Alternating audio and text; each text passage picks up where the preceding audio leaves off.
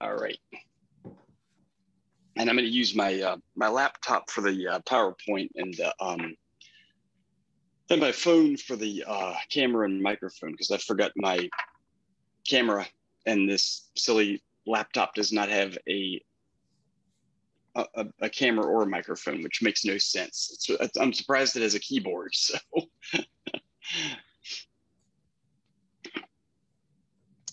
but uh, let's see. Yeah, we got 702, so we can we can go ahead and uh, begin. Um, I uh, uh, first wanted to to make sure that everybody, uh, if anybody had any questions about arrival or any logistics, we could take care of those first.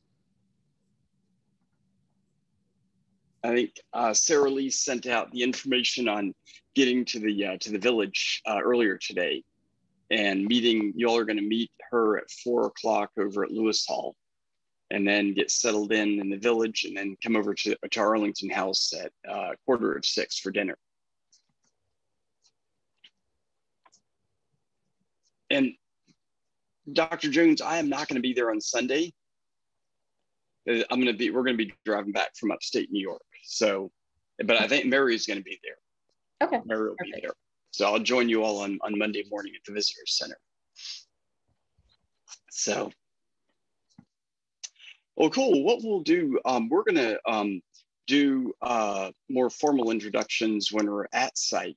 And, uh, um, but what, what I wanted to do tonight was do what we call our um, Power of Place uh, lecture, which is you know, looking at um, the idea of power of place and putting what you all are going to be doing next week into a historical uh, community and a landscape context.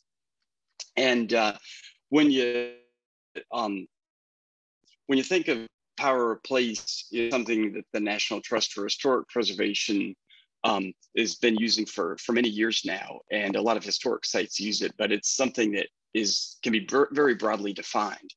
And uh, and first, how is my? Um, can you all hear me? Okay. Do I need to shut off my camera and my phone? Sounds good. Okay, good deal. But what what do you all think of when you think of uh, power place, especially for a historic site? Like, what might that mean to you all?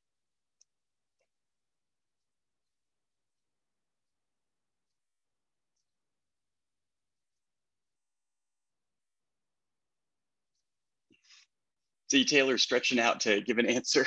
I, I guess just you know whatever activity it is, putting it in the proper context of the the historical background uh, and legacy of the place where it's happening. Yeah, absolutely. It can be, um, you know, understanding uh, history from, you know, what what the historical context is from from where from where it happened. Uh, what else? Looks like Mike, you were going to say something. Well, when I think of power of place, I think it's it's the power to use a historic site as an opportunity to tell tell a story, uh, to have the, the students connect with the story on the ground in which it took place. Mm-hmm. And what could you gain from being on the ground where something took place, where where um, history took place? Um, well, I know when I do Pickett's charge at Gettysburg, I gained the understanding mm. that this was an impossible task when you walk across across the field, uh, or it's just a, a connection. Uh, we have a, a, a very old uh, Afri- uh, African American cemetery on our campus, and it, it's Jim Crow era. And so when we're talking about Jim Crow, it allows my students to connect with you know some real people that that endured the things that that we are discussing in class. Yeah yeah. So it can be either the from the landscape perspective like you're talking about with pickett's charge i mean there's that part of the landscape that visceral part of the landscape the steepness of the slope the aspect of where you can see to and where you can't see that you don't get out of a book. And with what you were mentioning about with the uh, um, with the african american cemetery from jim crow it's the the people is that, is that the perspective you're taking with that? Yeah, it, it's the people. It's It's uh, one of one of the the few marked graves we have is a World War One African American soldier that was mortally wounded in Meuse, Argonne. And so being able to mm. tell his story wow. by his graveside in, in the course of our study of the Jim Crow South and, and, and well into the 20th century, uh, you, you can tell that for the most part, the students sort of get it. Uh, mm-hmm. This idea of I'm going to go serve and sacrifice what for for rights and freedoms I'm being denied at home, and you're doing it at his final resting place, which, which to me I think it's a is is a powerful link to make. Yeah, yeah. So it makes it you know real from the sense of uh, being a having a, having it be a person that gives that power right. to that to that location. What what else do you all think of? And there's obviously more than one answer for this.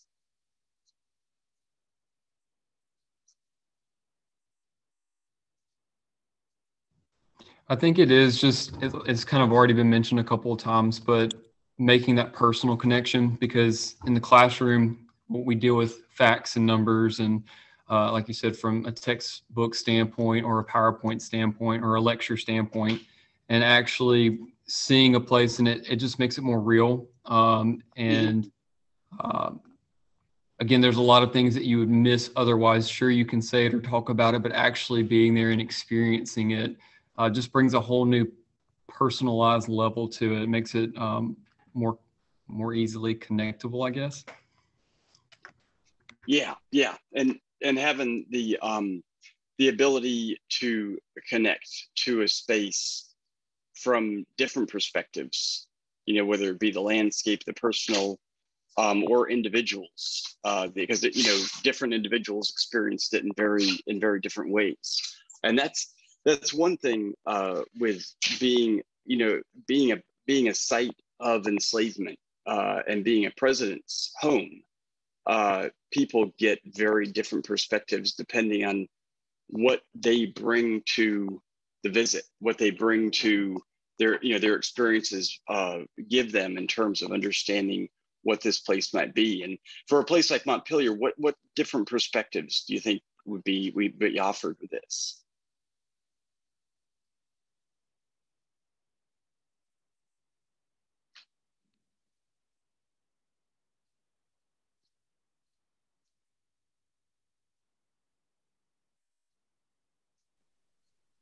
Uh, I know the last time I was at Montpelier, um, I'm a U.S. government teacher, so I was talking with the tour guide about the um, the interesting, uh, you know, looking at Madison's constitutional role in writing the Bill of Rights and writing the Constitution, and how he put forth all these ideas of freedom and, and things like that. Yet at the same time, that dichotomy of him also being a slave owner and how he kind of squared that away if he did it all. So kind of, kind of looking at some of those glaring. Um, uh, dis- disconnections there and kind of figuring out you know how aware of it was he you know did he continue to do this uh, and and kind of realizing what kind of effect that had on on everything else. Yeah yeah and i like how you put that as a dichotomy because it's uh, some people talk about it as a contradiction but as we'll talk about tonight it was definitely not a con- contradiction for madison. I mean his the role he held as a slave owner combined with his being a political philosopher were one and the same. They both mutually influenced each other. And uh, the one the one thing we're really interested in Montpelier, we're interested in a lot of things, but one thing we're going to talk about tonight is how the different different roles that people had in the landscape influence their perspective on this same set of spaces. And what we're um, what we're working on right now, which we're really super excited about, is looking at the landscape from the standpoint of labor. You know, it's a plantation. You think of the main house that, you know, was Dolley and James Madison's home. Um, you think about the slave quarters that we've um, rebuilt. Uh, so the living areas, but then there's also those sites where enslaved Americans are laboring and how to capture that to give another perspective on all of this. You know, uh, both the landscape, the history, like you were talking about Taylor with uh, with President Madison, his role in the in the in you know forming the Constitution, and so what um what we're going to have you all think about all next week is you know how what we learn about the landscape through archaeology radically influences how we see that landscape and how it changes the power of place. I mean, at you know, you're going to be on Monday, you're going to be looking at what appears to be a field with nothing on it. And by the end of the week, you're going to have a very intimate understanding of that space being a workspace, especially since you all are going to be excavating a blacksmith shop where you're going to be holding the products of you know enslaved individuals labor in a way that in often cases you can't do, you know, if you're looking at say uh, a, uh, um, a tobacco barn or, or a threshing barn, you know, those, those products are gone. Some of the tools are there, but um, it's, it's, a, it's a way to uh, experience what this plantation called Montpelier was. And also what we'll talk about today and, and also next week is bringing in uh, descendants perspectives on this because in doing the research we're doing on the enslaved Americans at Montpelier, we're also we're getting an understanding of not only what um, enslaved lives are like, but also defining who those people were. And by defining who those people were, the descendants of those people have a very strong interest in what kind of history we're telling. And we're, y'all might have seen um, in recent news, we were entering a very unique, unique, unique relationship in terms of a historic home with the descendant community, in terms of having structural parity, meaning, meaning with the power of the board, half the board will be made up of descendants at Montpelier, and they will have, you know, decision-making power alongside the rest of the board over everything that we do. And th these, what this decision-making power entails is really having conversations, open conversations, and very frank conversations about, you know, what research we're doing and the kind of questions we're we're asking, and to broaden the perspective and what we, you know, really determine, you know, as being the power of place at a, at Montpelier. So, what what I'll do is I will go ahead and uh, jump into uh, the lecture here. I'm thinking this will be about uh, 40 to 45 minutes uh, long, and and feel free at any moment to interrupt with any questions you might have. I'm going to try to pose questions to you all as well to, to keep it going. Um, and did you all have a chance to look at some of the background readings, like the archaeology booklet? Did you all get those and have a chance to go through those? Cool. Well, what um, what I'm going to do? Let's see. I'll share screens here, and hopefully this will result in um, the entire screen from your all's standpoint being able to be seen. See, can you all see the, um, yes. The, uh, you can see the PowerPoint? Okay, awesome. Sounds good. All right, awesome.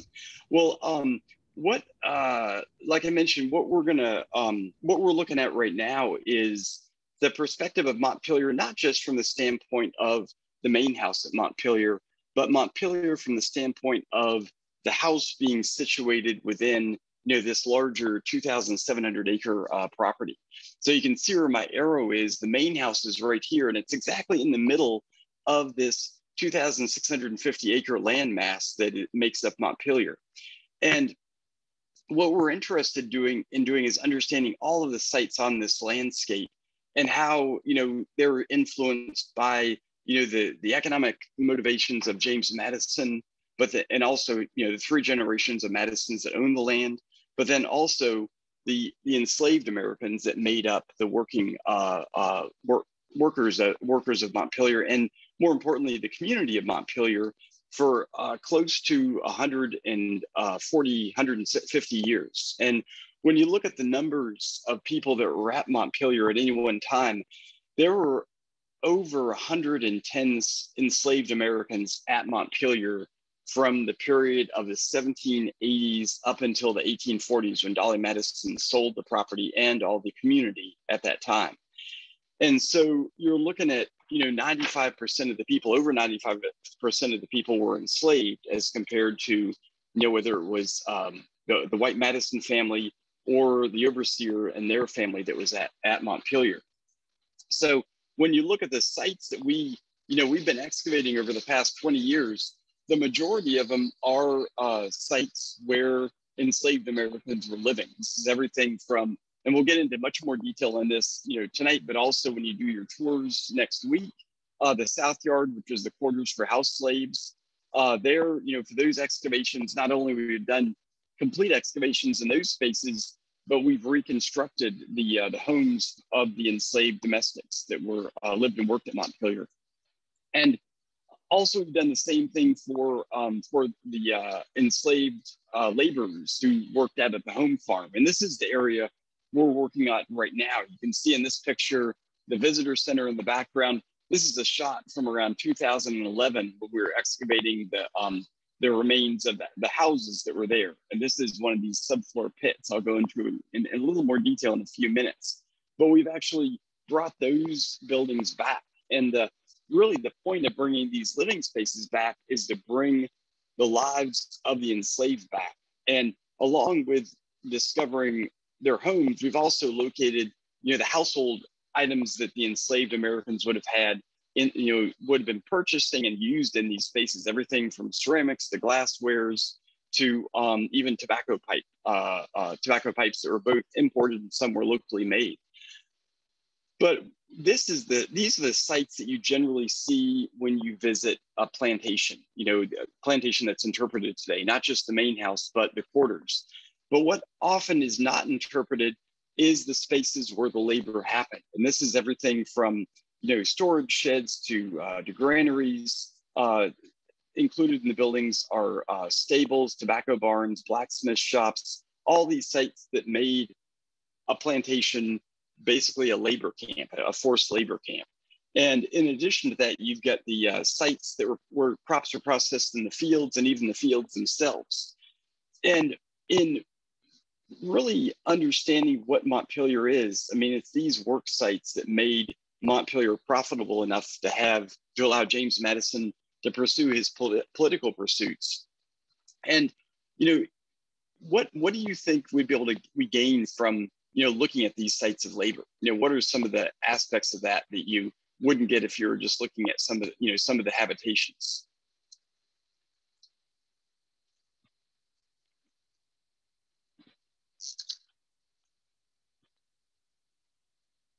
And any, anybody can jump in on this. I see Chance, you're looking uh, looking pensive. What do you think you can get from these sites of labor? Well, and I mean, since they are going to typically be at these sites far more often than they would at uh, their dwellings, you know, I think that that that in of, in and of itself is going to lend um, probably more information about their lives, what they experienced, what they were going through, the hardships, um, and, and, all those other aspects that you would otherwise miss, or or at least most of it you would miss if you just focused on uh, their housing. Absolutely, and this is you know in being at these sites, this is the looking at these sites is something the descendant community asked us to do with the restoration of the South Yard is to do just what you're talking about, Chance, is to think about the um, the motivation motivations and what would have really um, fi- fired the agenda for the enslaved community. Because when you think about Madison, you know, there's you know, when, even when we tour visitors through the house and we're talking about Madison, we're talking not just about how he was entertaining, how he was living with Dolley. We're talking about his political career, what he did, you know, in terms of um, establishing the um, the basis for the for the Constitution, his early political life, and if you ignored the the daily lives, the daily labor the, ens- the enslaved are going through, you're going to miss all those aspects that you were mentioning, Chance, which is what are the motiv- motivating factors for, say, um, you know, an individual laboring in the field. You know, what are what are what are going to be some of the things that they would have chosen for innovations in agriculture maybe maybe to make their workday shorter so that they would be able to successfully complete the tasks they were assigned and then have the energy maybe not the time but the energy to pursue their own gardening their own uh, household production. And so that's getting into what descendants have asked us to do is to think about in in many ways the intellectual lives of their ancestors which is how are they formulating these ideas of liberty that they hear every day, you know, with conversations that are happening at the main house in front of them because they're serving the table and they're hearing these, these conversations. How are they incorporating that into their lives? And this is something that by studying these sites of labor, we've got an opportunity to do. And it's also makes it a lot more uh, a way to talk about this with visitors that you wouldn't be able to do if you didn't have these sites to present to to the public. So, you know, for us at Montpelier, it gets into what you know we we often talk about with full scale restoration, and people think about oh restoring the house, but you know once we restored the house in 2008, we realized it was set on this 20th century landscape, and there was you know we found all these sites that need to be brought back. And so full scale restoration is all 2,650 acres. I mean, we're probably not going to restore every last barn that was there, but we want to know what sites are there so we can incorporate that into the story. The other thing that you'll learn more about on, on early next week is we have a profound lack of documentary records. There was a, um, in the 1840s or 1850s when uh, John Payne Todd, the stepson, dies, all of the family papers were found at his house. And James Madison's nieces and nephews found literally two rooms full of documents and decided to haul all these documents out to the back lawn and put a match to them to burn them. And with that went, yeah, Taylor, you're gritting your your uh, your your your fists there. Yeah, with that went, you know, not only where you know maps where the fields were what the crop yields were from the garden books but so much of the evidence of the labor of the enslaved community and also a lot of their personal history the names. And so with the burning of those records what we think that madison's nieces and nephews were trying to do is get rid of those personal aspect of Matt, of their uncle's life that might have been seen as uh, more distasteful for his legacy so, you know, what, you know, claiming that it was his privacy they were protecting, it was, you know, in some ways his legacy as well. And so uh, being able to get removing those documents, what we're at the stand, what we're at the standpoint to be able to do with the archaeology and how well preserved Montpelier is, is to really reconstruct what happened at Montpelier in terms of the labor, in terms of the contributions of African Americans, enslaved Americans at Montpelier. And so this is where uh, we've got a we've got such incredible preservation of the archaeology record at Montpelier combined with this lack of documentary records that it gives us a real opportunity to have these sites bear witness to you know a, a very hidden aspect of the lives of the enslaved at Montpelier.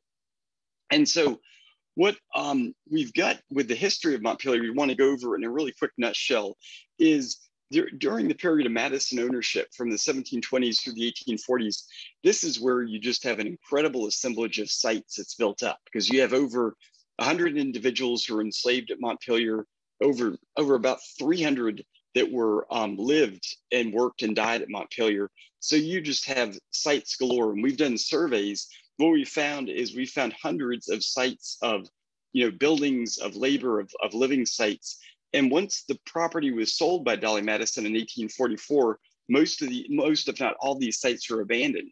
And for the next 200 two centuries, you really get some amazing preservation at Montpelier. And we'll go into some of the details on this. But after the Civil War, you, the um, the number of enslaved individuals goes down to about 25. So a lot of the work sites are abandoned. And up until the early 20th century, there's not a lot of uh, use of the land. So a lot of these fields and work areas returned to woods. And then during the 20th century, when you could have had, you know, pretty um, uh, rapid destruction of sites through plowing, through mechanized plowing, the DuPont, DuPonts own the property. And they don't need to make a couple hundred dollars off the fields or cut the woods for, um, for timber money. They basically run it as a hobby farm, essentially, for from 1901 all the way up until 1984. And then during the National Trust ownership, ironically, it's during that time where Montpelier really witnesses some of the greatest impact on resources through logging that the National Trust does and some of the early restoration work that happens at the main house. And so, fortunately, if you hadn't heard of Montpelier before 2000, it's because it was kind of in a state of being in mothballs. So, not a lot happened as much as could have if you know, Montpelier began to be interpreted in the 1920s, like what happened at Monticello and Mount Vernon. So really, we've got 200 years of preservation at Montpelier that allows us to understand through the archaeology what happened during the Madison ownership. And what for the for this for this landscape, what we've got at Montpelier is about 1,800 acres of woods, and the visitor core is a very small part of the rest of this, you know, uh, 2,700 acre landmass. And when you look at um, what was originally Madison lands, the area that's in yellow here, the slight shade of yellow, this is what was owned by the Madison family in the 18th and in, up until the mid 19th century. And there's other adjacent plantation land that's on within the white boundary that's owned by the National Trust for Historic Preservation today. But most of the land makes up the is, is the Montpelier plantation core. And of this land, we've got about 1,800 acres of it that's in woods. And if you were at Montpelier around 1810, there probably would have only been about four, 400 acres of woods. So we've just got massive areas of fields that have grown back up into woods. And um, I've, I've, sent you all um, some uh, uh, story maps that talk about the plantation below the canopy, which is you know these plantation evidence for plantation fields that we found within the woodlots of Montpelier and that's become a really it's probably going to be like the next decade of work we're going to do after we finish the project that we're working with you all on next week. But there are just dozens of sites out there that we're locating through metal detector survey. And the metal detector surveys that we've done at montpelier we've located uh, most of the sites that we've located to date are uh, civil war encampments but we're starting through metal detector surveys, and I'll get into this in a few minutes. But we've started to locate these smaller sites that are these smaller circles.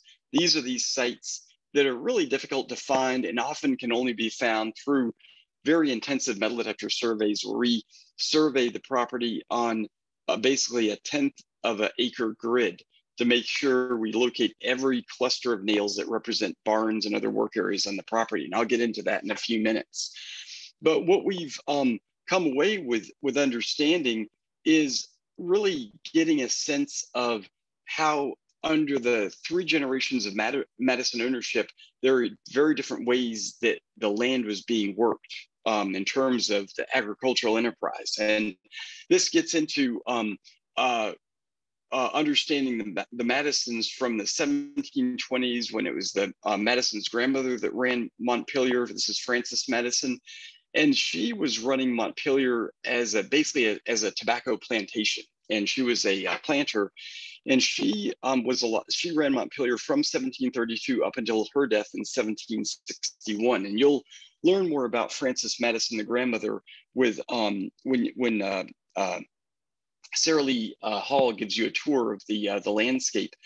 But when she becomes a widow in 1732, it's two of um, her slaves and a, and, a, and a, neighboring slave poisoned her husband. This is James Madison's grandfather, Ambrose Madison. He's dead by 1732. She is running the plantation as a widow. And when her son, James Madison Sr., comes of age in 1740, she has another 20 years of running the plantation and basically running the tobacco uh, cultivation part of this uh, of, of the plantation. And what this means is that her son starts to engage in other activities. He starts to he sets up a blacksmith shop with enslaved blacksmiths. He imports goods from uh, england and sets up a mercantile shop at montpelier. He serves the the local um, basically sells items to the local uh, community which brings in pretty much double the wealth from tobacco. And when you get into the 18th century with the Revolu- American Revolution, when the tobacco bo- market falls, the bottom falls out of it, Montpelier is really able to continue to run at a profit all the way through the 1780s. And this allows James Madison Jr., this is the grandson of Frances Madison, to pursue his political career in a way that he never would have if you know some of these changes hadn't taken place. So through 1761, Montpelier is mainly being run as a uh, um, as a tobacco farm. There, you know, Frances Madison is uh, managing the tobacco cultivation of the property and marketing under under under her name. After she passes away, this is when um, uh, James Madison Jr. He would have been about 10 years old at this time he would have grown up not at Mount Pleasant, which is a site nearby that we're going to be excavating um, uh, next week, but he grew up in a very small house up where the main house is. So for years, we thought Madison grew up at Mount Pleasant, which is over by the Madison Family Cemetery. turns out from excavations we did about six years ago, we found what we thought was a, um, a, uh, um, a kitchen, this building right here, that turns out it was an early planter's cottage, which was James Madison's parents' newlywed, basically their honeymoon cottage that they lived in for 10 years. It was a 16 by 20 building where James Madison spent the first 10 years of his life.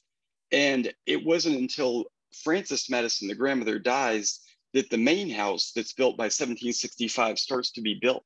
So what you get is this really uh, interesting early history that Madison as a child is witnessing, where you get the plantation being run by two different generations, the grandmother's grandmother and then the parents.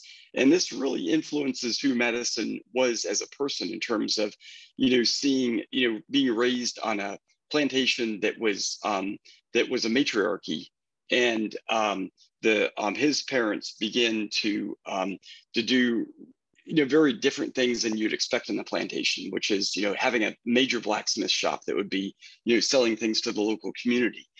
But by the 1760s, that's when the brick main house is completed, and during that time, this is when James Madison's uh, parents begin to engage in more, uh, have, their slaves engage in more plow-based agriculture, where they're having at the blacksmith shop, they're building plows, some of the earliest plows in the Virginia Piedmont, and instead of doing the slash and burn horticulture that occurs with tobacco, they're they're having the enslaved laborers at Montpelier Clan clear much larger areas of, uh, of fields for plowing and begin to um, plant wheat and grains, which substantially increases the wealth of you know the income that's coming in at Montpelier. And this goes on all the way up until uh, the 18, about the 1790s when James Madison Jr., the future president, takes over the operation of the plantation.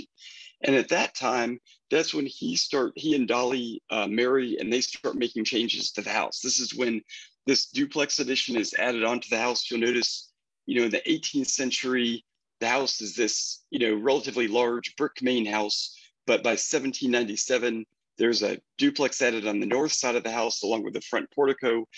And then when they make plans for um, retiring for the, from the presidency in the 18 teens, they substantially enlarge the house with, uh, with these one-story wings that have make the house appear as it is today. But during the 1790s, what James Madison Jr. begins doing is changing the operation, the farming operations of the estate over to a more scientific farming. And so what he does is essentially uh, gets rid of the blacksmith shop. It, it, used to be up by the main house, and it gets moved out to the farm complex where we're excavating the early 19th century blacksmith shop um, uh, this year, where you're going to be excavating next week. And so he removes a lot of the um, a lot of the uh, quasi-industrial labor that was happening near the main house out to the farm complex and really gets rid of the role that Montpelier had on su- supplying items to the local community and basically kills the economy of the plantation. And this is where Montpelier starts to go into debt because they don't, they're not, you know, the, because of the sales of agriculture in the Virginia at, that, at this time period, they're not able to turn profit from the agricultural enterprises at Montpelier. And what Montpelier, what, what Montpelier turns into during the retirement years, starting in the 18 teens, is more about producing uh, enslaved individuals that can be sold. And starting in the 1820s, that this happens where field workers of prime age begin to be sold to the deep south. And essentially, Mont- Montpelier gets turned into a breeding plantation. When you look at the population tree of Montpelier in the 1820s, over 50% of the individuals living at Montpelier who are enslaved are under 12 years old. And what this gives ev- evidence for is what Madison writes about his nieces and nephews who are basically turning their plantations into breeding farms for selling slaves through Richmond down into the deep south. And this is what happens at so many plantations in Virginia, Maryland, and also in North Carolina, where these older uh, Virginia and, um, uh, and uh, Chesapeake plantations basically become breeding plantations for the New South where cotton is being produced. So when you look at what the value of items that are being produced at Montpelier, it's all about people rather than agricultural crops. and so when you look at, you know, the whole idea of, you know, people always ask the question, you know, when Madison died, did he free his slaves? And there's, you know, historians that have written about years that Madison had a desire to free his slaves, but, you know, we know from the records he did not. Um, a lot of those desires that are talked about are based on assumptions that, you know, with James Madison being the father of the Constitution, the, the architect of the Bill of the Rights. This would have been a desire that he had, but underlying what those documents are is who would have been a citizen if you were at Montpelier, say in 1810, and what were some of the three characteristics of you know being an American citizen in 1810?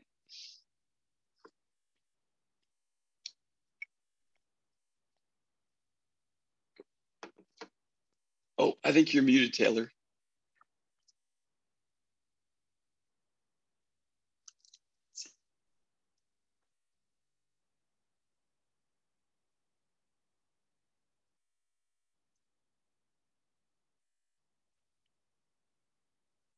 Maybe can you all hear Taylor? Okay, I was worried my, my headphones had gone. So everybody's putting it in the chat. oh, everybody's putting it in the chat. Okay. Yeah. Thank you, Alex. No worries. Let me bring the, the chat up here. Awesome. Yeah, white male and landowner. And uh, um, Bashira, you asked breeding farms with 12 year olds. Yeah, it's when you look at um, uh, some of the things that the Madison, Madison and Jefferson write about. One of the things that's that's often quoted by uh, tour guides is you know how well slaves were treated at plantations such at Montpelier, where the Jefferson and Madison write letters to the overseers instructing them not to whip slaves, and that can be interpreted many ways. You know, in some cases, it's interpreted as you know treating enslaved Americans well, but when you look at the economic motivations for that, you know, if you're an enslaved individual and you have scars on your back from being whipped, what do you think that's going to do to your resale value at the auction block? Yeah, it's gonna it's gonna lower it. I mean, it's it's pretty sobering, and this is where when you look at what um, how Jefferson, you know, President Jefferson and former President Madison recover their debt, recover their debts, is by selling the enslaved community uh, upon their death. And for Madison, this would have been very personal because one, he knew that if uh, the institution of slavery was threatened, a lot of his fellow Virginians, South Carolinians are going to see that the gig is up on slavery and the nation is going to be divided.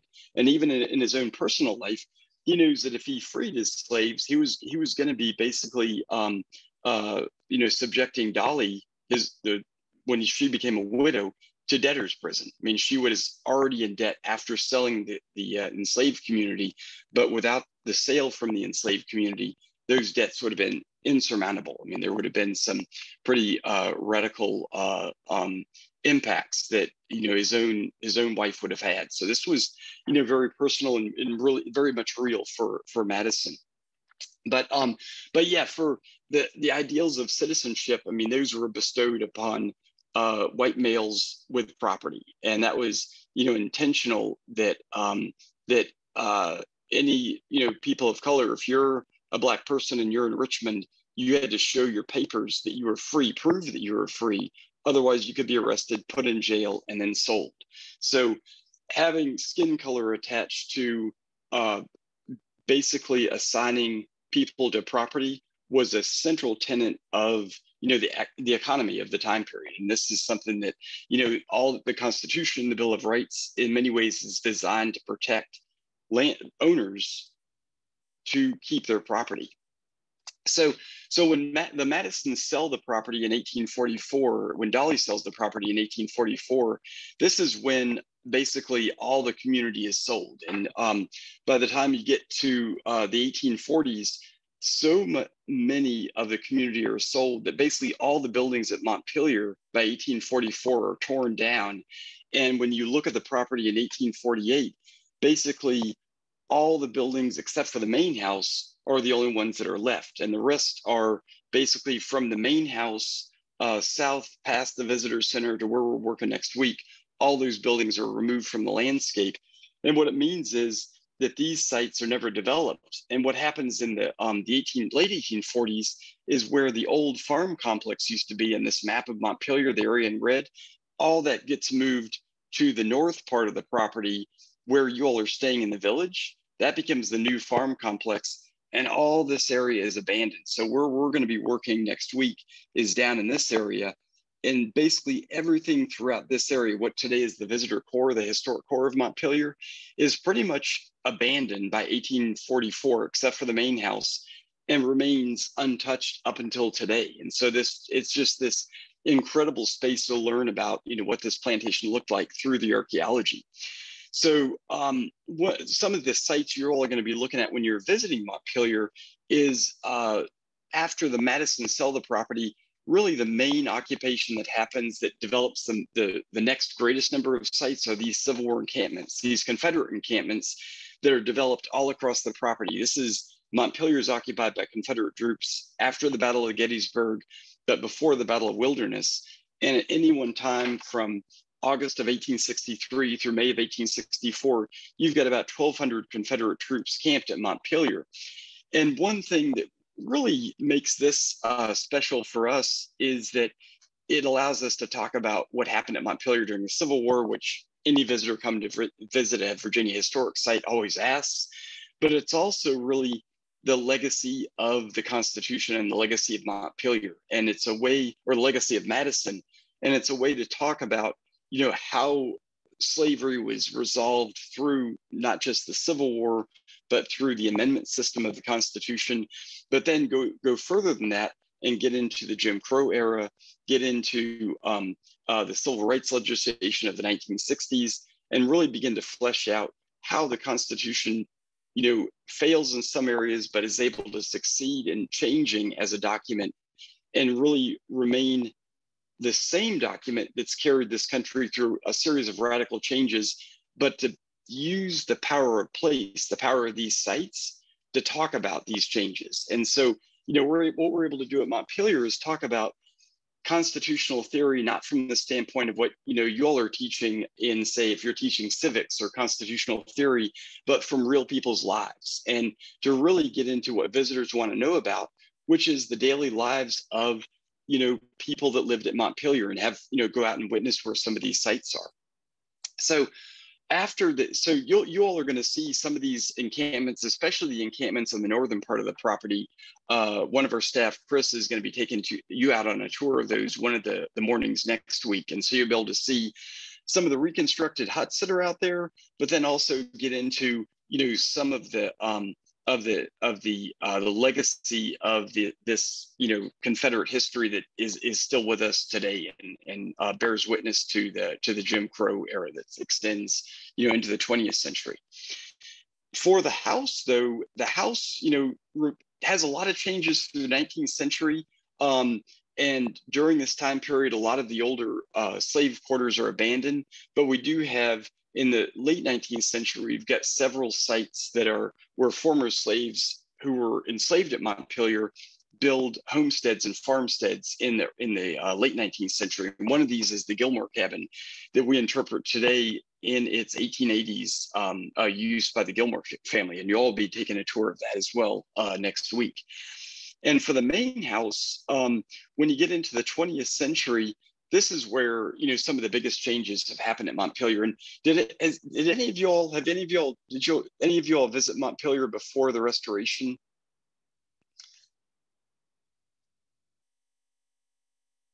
Let's see.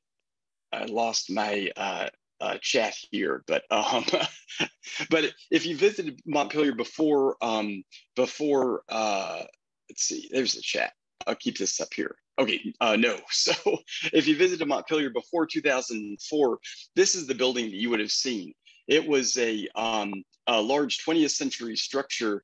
And basically what we did was go through a, um, let me move this chat out of the way because I don't know if, the, oops, uh, go through a, a eight, a, a six year restoration where we removed all of the DuPont wings and brought it back to its early 19th century appearance. And with the restoration of the house, when it was just about completed in 2006, like I mentioned, this is when we realized that the landscape it sat on was this amalgamation of late 19th and early 20th century um, landscapes. And we wanted to really bring back this its early 19th century appearance. So that's where, you know, looking at historical documents, we knew the front of the house looked very different.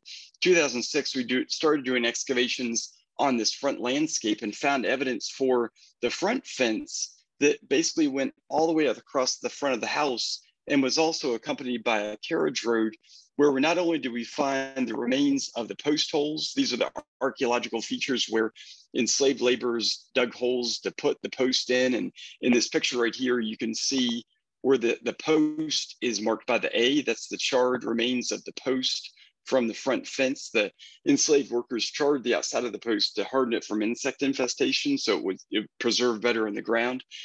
And so we're able to define where the post is within this hole that was dug and these are the kind of the features you all are going to be looking for next week to understand you know the layout of the site you know around the blacksmith shop but for the front fence what it allowed us to do is to figure out where this fence was that's shown in this 1818 watercolor and then also where the road was where this enslaved mother and her child were walking in front of the house we actually found the last set of wagon ruts buried under about a foot of clay and what we're able to do is take this archaeological data and bring back the landscape to you know how it's restored today with the front fence and the uh, the, ro- the road uh, landscape.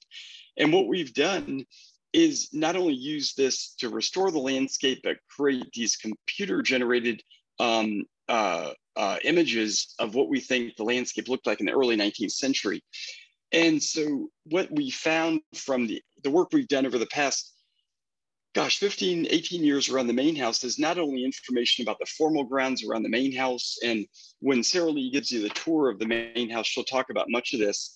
But a lot of the, the teacher programs that, doc, that um, Dr. Jones has run with us over the past five or six, seven years have explored a lot of these sites, everything from you know work we did in the Pine Allée and the um, and the uh, the temple to the Grove, and we've you know not only figured out where the 18th century buildings are in these areas, but what the planted landscape looked like and how they these plants directed the view towards the main house, but also evidence for you know this larger enclosure that included a trash deposit outside of the formal grounds of the main house.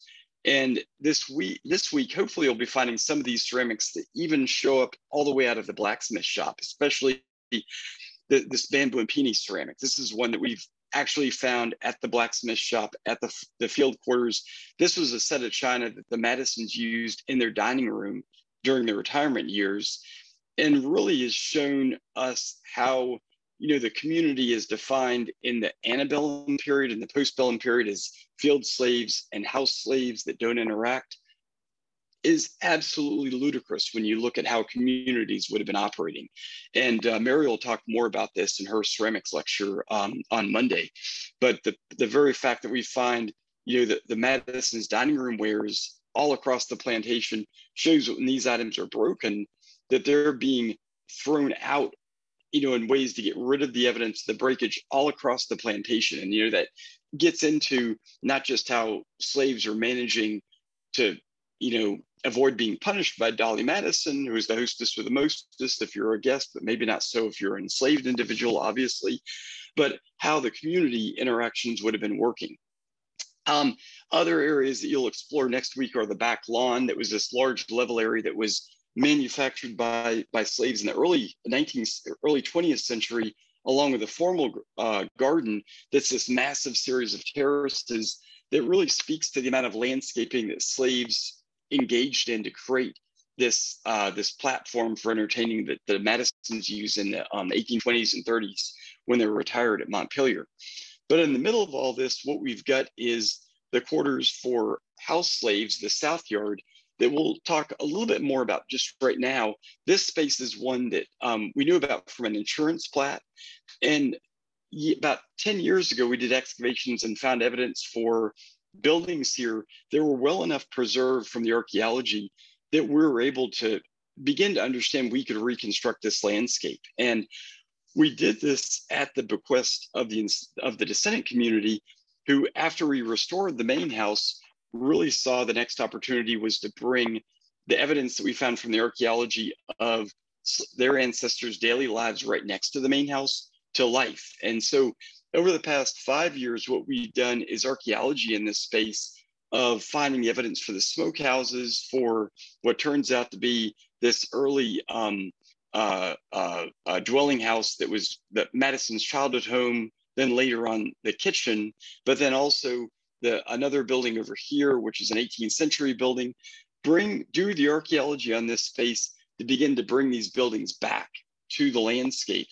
And part of this reconstruction, we involved the descendant community in not just the research, but also the interpretation of these spaces. And this is where we developed an exhibit called the Mere Distinction of Color, where instead of just pre presenting these spaces as, you know, these what look to be uh, almost refined cottages, but to bring the perspective of the enslaved into and what they would have been experiencing in this space as compared to what was going on in the main house with you know some of the ideas of of individual liberty that were being espoused by Madison put all this into one context and really look at how the yet what the intersection between race slavery and the constitution what that meant for the the enslaved at Montpelier and this developed into an exhibit where we crowdsourced the uh, this exhibit with the descendant community to really have the descendants tell their perspective on what the Constitution means to them as descendants of the enslaved at Montpelier. And this this exhibit we're going to have open for you all next week to really experience this larger, you know, uh, historical context of Montpelier, but then also how all these reconstructed buildings can be used as a place to tell this larger story. And how, when you bring in the descendants into this story, how that changes the perspective from just you know doing doing a traditional plantation perspective where slaves the enslaved community are being presented for their labor and the owners are presented from you know providing the under, economic underpinnings of the plantation and so what um, what we're doing now with the archaeology is getting beyond the main house, but looking at you know this this larger landscape perspective. And this is where uh, when you look at Montpelier today, where visitors where they where you park your car today, what you see is not the main house up in this wooded area here, but this large open field, which turns out this was the main farm complex in the early 19th century. So if you were to look at this space as it appeared in the early 19th century, this would have been a virtual, you know, uh, work work village of the time period with multiple barns, uh, you know, everything from threshing barns to tobacco barns to stables, the blacksmith shop, and, and the uh, living quarters for the enslaved individuals who lived and worked in this space. And what we're doing with this space is using the archaeology to really understand what's there. And a big part of this archaeology has involved not just standard excavation techniques and units, but also the metal detector surveys that I was mentioning. And what Terry on Monday morning, he's going to give you all a tour of all this space. So I'm going to I'm going to give a kind of a light coverage of this. And we're already at 7:54, and I don't want to keep keep, keep you all night and some with the, uh, the background lecture here. But the the one perspective Terry can't give you is this 2,700 acre perspective because he can't take you all up in a hot air balloon to see the, the entire property when he when you all are at the uh, the visitor center on Monday. But the um the area that you see in red, this is the 2,650 acres that make up Montpelier today. The area that's in these little squares, the green, the yellow, and the red squares, these are areas where we've done metal detector surveys. And um, let me see, you get I'm going to reduce you all. So I'm, I'm not sure if your all's picture shows up in your all in your all's screen. Actually, it doesn't. That's great. I can see you on my phone what it looks like. But what we've been doing with the uh, with the metal detector surveys is what we've figured out about these plantations is to find the sites. You can't use a predictive model. You basically have to cover every inch of the ground to find where the uh, not just where the slave quarters are, but the, where the barns and working areas are. And so what we do is we lay out a grid using GP, uh, GPS devices and lay out the grid on a, on a uh, 20 meter interval, which is about 66 feet square or about a tenth of an acre in size, and then sweep those grids that we lay out with a metal detector, sur- metal detector survey. And wherever we come across a signal, excavate it to see whether or not we have 20th century debris that's in, out in the woods or we're finding uh, historic artifacts. And if you think about um, what you'd find if you were looking at um, at uh, you know looking for artifacts with a metal detector, what do you think the most common artifact you'd find would be? Especially with a building that decay you know uh, decays and, and falls into the ground. Nails. Yeah, nails. Nails are are what what metal detectors call Montpelier gold. They're basically how we find all these these sites of labor and all these buildings. And what's great about nails is is that for metal detectorists, you know, and they for a lot of metal detectorists, we do these metal detector programs at Montpelier. They're expecting to do surveys and locating buckles and coins and buttons. And when they hear what they're going to be finding 95% of the time is nails, they just kind of groan because these are the things they usually throw away when they do a metal detector survey. But when they learn that what nails do is not only give you an idea where the buildings are, but they actually allow you to date the building because nails go through about three different manufacturer changes from the 1760s, shortly before the American Revolution, through the 1840s. So each of these generational changes we were just talking about, like with the parents' generation and the grandmother's generation, those nails are all what we call hand forged nails, these um, rose head or handmade nails. They have, and Mary's going to go into this into detail with us on Monday, but they're basically made from nail stock. Each individual one is made by hand. In the 1790s, what you what the nail manufacturer changes to is machine cut nails that allows much more mass manufacture of nails to be uh, carried out. And this um, machine made nail manufacture changes very rapidly in the 1790s into the 18 teens when Dolley and James Madison, you know, arranged for all these changes, not only to the main house, but to the larger plantation. And one, one nail that is my favorite nail type is this machine cut nail that either, either has a hand forged head or a hand forged tip because they're exclusive to when James Madison Jr., the future president, begins changing the um, the agricultural operations of the plantation and basically turns what his parents have set up on its head and moves all the buildings around across all the 2,650 acres at Montpelier. So basically, we're surveying a what turns out to be a barn site out in the middle of the woods where there's we find a bunch of square nails by finding these machine cut L, L or, or spatula or pointed tip nails dating from the 1790s, we know we're dealing with a barn that was uh, built there based on changes that President Madison was making in the 1790s. So we're able to tie these buildings to these changes that happen on the landscape.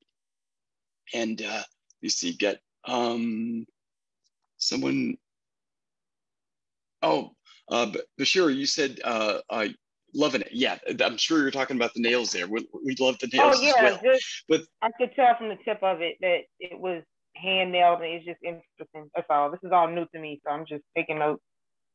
So that's all. Well, you were when you find the nails out of the site, you all are going to love them because the nails are just exceptionally well preserved. And we're actually one of the one of the areas we're excavating is a built is a shed that burned and the nails look like they were made yesterday. They're in perfect condition. So you can see these manufacturing details in the nails as you find them in the ground. And it makes the, the nails, you know, what goes from just a ho-hum artifact into this, this incredibly powerful artifact that you're actually, it's, I'd say nails are what gives us the ability to witness in the enslaved Americans' activities more than any other any other um, uh, artifact that we find at Montpelier.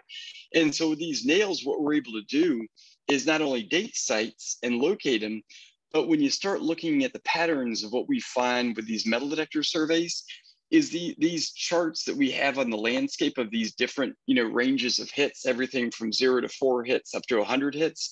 This at each one of these uh, 20 meter grids, we do a total hit count of how many artifacts, historic artifacts we find. And then you begin to be able to see concentrations of artifacts. And when you zoom in on this map, what you can see is where these sites are. So for example, this is the field quarter. You've got the blacksmith shop up here, tobacco barn over here. And then what we do is once we find these sites, not only we're able to date them based on the nails we find, but then when we've found the sites on the 20 meter grid, then we go in and lay in a 10 foot grid over these concentrations. And then all of a sudden you go from just finding the sites to actually finding, figuring out where the buildings are. So, so for example, up here at the overseer's house, you go from this much broader survey where you really can't tell where everything is. Remember, this is 66 feet. So this is, you know, 60, 120, 180, 200 feet distance here. Wouldn't really know where to put in a five by five unit. But once you start doing the 10 foot survey, you go from this very pixelated image of the this map distribution to this much more refined image of where the actual structures are. And then all of a sudden, we begin to know where, to, where the building's sat so we can put in our excavation units. And so with the blacksmith shop, which is right in this area, uh, we've um, actually, if you look at, I've got a, a map and I'll send you the link for this map um, uh, after the, uh, the, um, the PowerPoint here. Let me see, I've got the, um, this map right here is the same map that I was just showing um, in the PowerPoint, but this is in GIS. This is like a live map that shows our current metal detector surveys. And in this case, what you can see is all these little squares, you know, to get you oriented again, here, uh, the visitor center is up in this area is right here. Here's the parking lot. Overseer's house right here. The blacksmith shop is all this area in red here. And when you zoom in, you can see where all this red concentration of nails are. And this not only includes nails, but also slag and uh, clipped iron. This is where we've placed all these units. And we've actually found two other buildings here and down here where these uh, concentrations are almost exclusively nails. And so what we're be beginning to develop is an idea that this blacksmith shop is made up of probably, you know, four to five buildings in addition to areas we haven't even explored yet.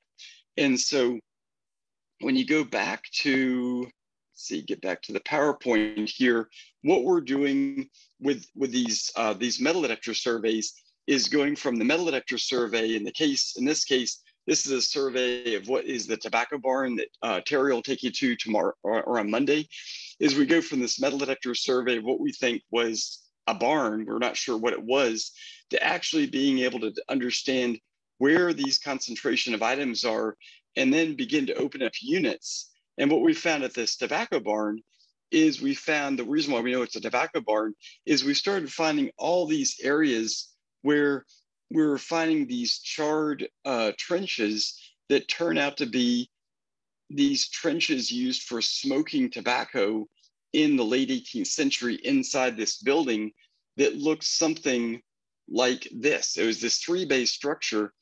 And then in the middle of this building, what we found was a threshing machine that dated to the, um, the 18 teens that showed us this barn went from being a tobacco barn in the 18 teens into a threshing barn. And it's right in the middle of this farm complex that's just down the hill from the visitor center. So all of a sudden, you know, we began to realize that this wasn't just an empty field, but it was this quasi-industrial area and agricultural focus in the early 19th century that really bore witness to all the uh, basically the the hub of activity that took place within the core of the um, of the farm was just down the hill from where people park their car today. So we've you know really been we discovered these sites about 10 years ago and we've spent the past 10 years analyzing them to be able to understand what was here and developing these 3D conceptual maps of what we think this area is. And about two years ago, we received an NEH grant to do a study of this entire area. So what we've been doing over the past year is doing these 10 foot metal detector surveys to locate where these buildings are, and then coming in to do the excavations with the, our five foot by five foot units to see what we're finding through metal detector survey, through shovel test pit survey, and then through other remote sensing uh, techniques that we'll talk about with you all uh, next week. But essentially what you all are gonna be involved in next week is exploring these areas through these five by five units to understand all of the areas that, that Dennis has found through these metal detector surveys. And the metal detector surveys at the blacksmith shop, what, were, what Dennis found, who was our metal detectorist, is he found these massive concentrations of not just clipped iron from the blacksmith production, but also um, horseshoe nails, horseshoes that all speak to this blacksmith operation being a place where they're not necessarily manufacturing new tools for sale to the local community, but they're more repairing items for the farm in the 18 teens, 20s, and 30s. And it really shows how the blacksmith production changes from the 18th century into the early 19th century. And we'll talk about more about with this with you um, uh, uh, uh, early next week when we get into some of these excavations.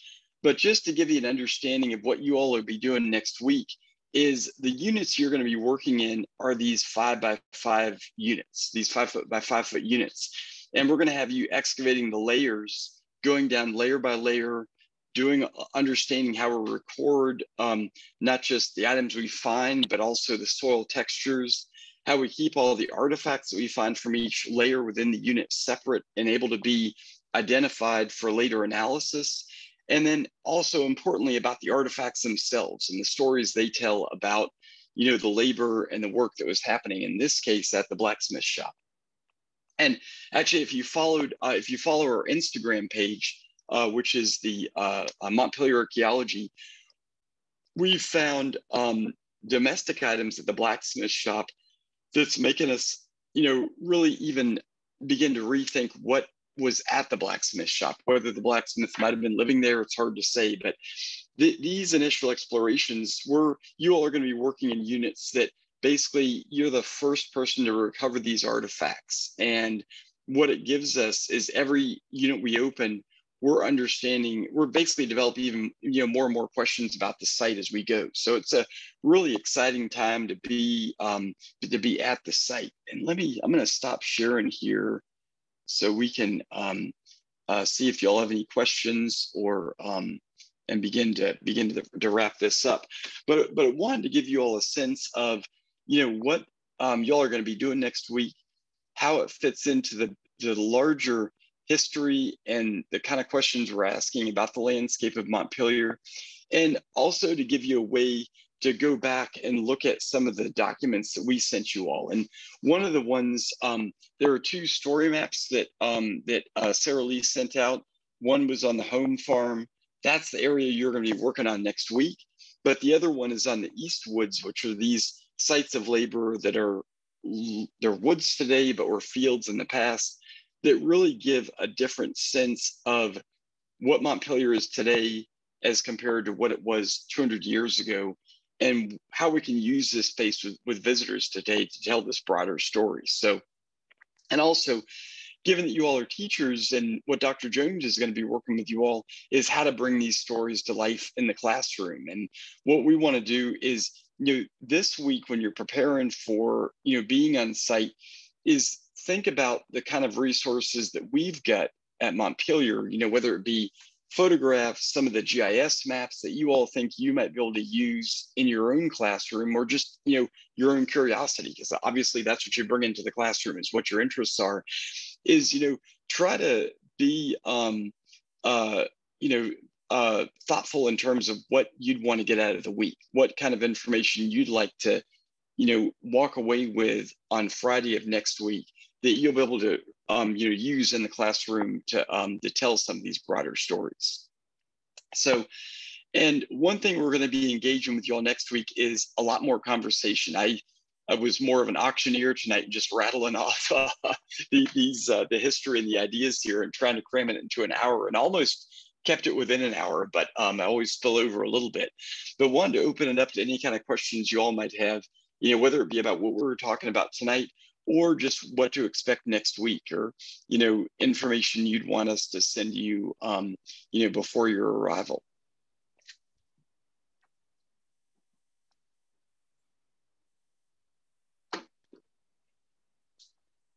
and Alex, uh, Dr. Jones, is there anything you'd want to? Yeah, add? I was going to jump in because I see y'all are like my students when I teach. They just don't say anything and they stare and hope that you'll stop talking. so really that's quick, my objective, Alex, is to stop talking here. so really quick, um, I just kind of want to do a quick roll call and see what everybody's mm. uh, subject matter is that uh, you teach. Um, if you don't want to actually yell it out, you can put it in the chat. It's it's whatever you feel most comfortable with.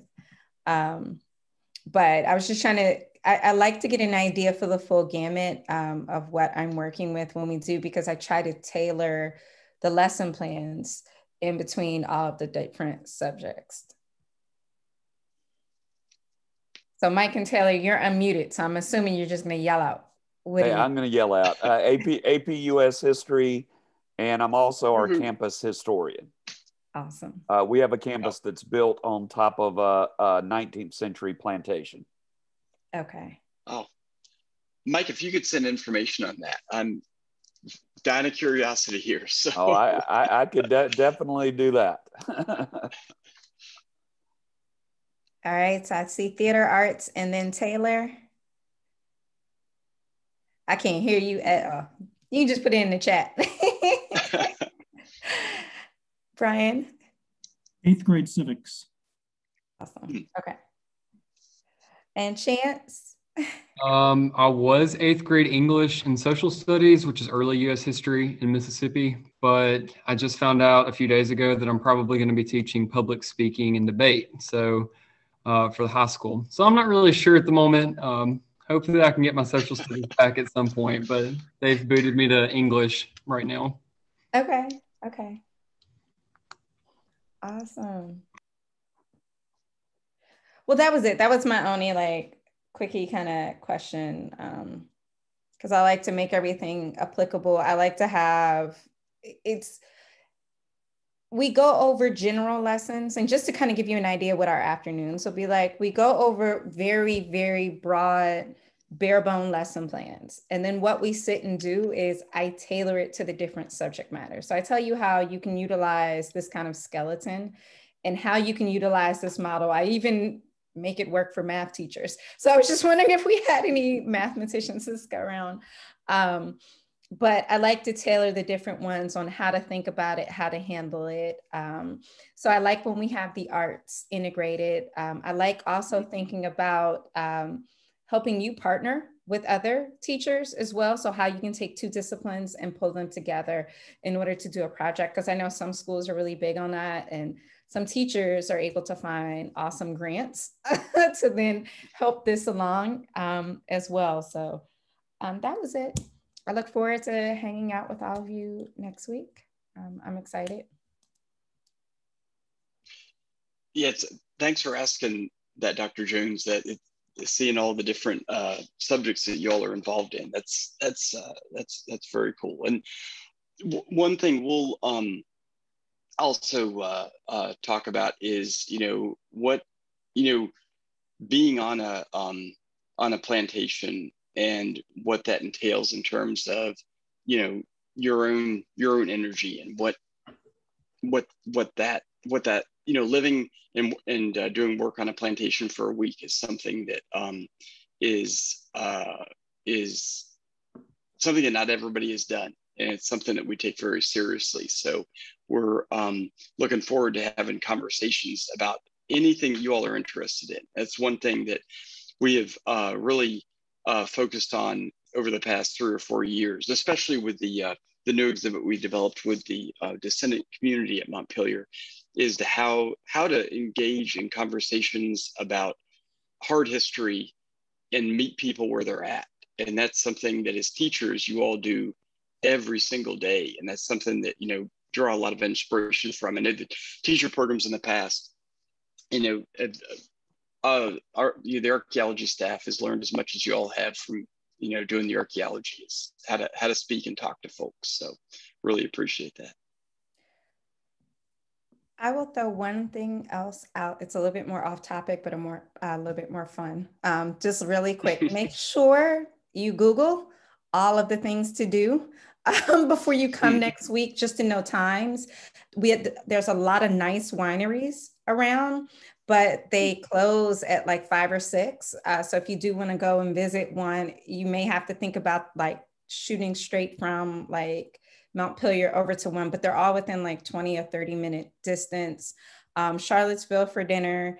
And then I don't know if they'll have it this summer just because of COVID, but the Shakespeare Theater, I don't know if they're doing, mm. But they have Shakespeare outdoors.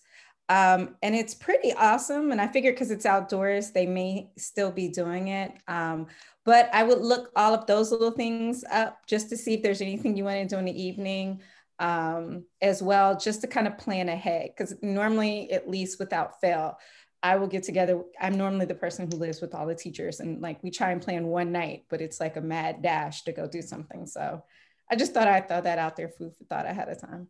So. And if anybody wants some some nerd fun, uh, I am planning because it's only 30 to 45 minutes away, to, based on how I drive, uh, to hit the wilderness in Spotsylvania. Um, my wife's great great grandfather was in the, the McGowan's Brigade that camped from December of 63 to May of 64 at Montpelier. So uh, I'm, I'm, not, I'm really excited about going down to see the Civil War encampment, but I'm planning to jump over to the wilderness or Spotsylvania, and, and any and everybody's invited if you want to go. That's amazing, Mike. I, will uh, I'll send you some of the um, articles written written on the encampments. Oh, and if your that. wife has any letters from her ancestors, uh, we, we, we, we, so far we have not found them, but but he was in the 13th South Carolina part of McGowan's brigade, and he actually joins the unit in mid-December at Montpelier. So we do know that. Oh wow. Okay. Wow. Yeah, lots to talk about. Hmm. Chris is going to have fun with uh, Chris uh, Pash does the uh, tour of the Civil War encampment, and uh, there's um, yeah, have a lot to talk about with all that. That's cool. Thanks for letting us know that. Yeah.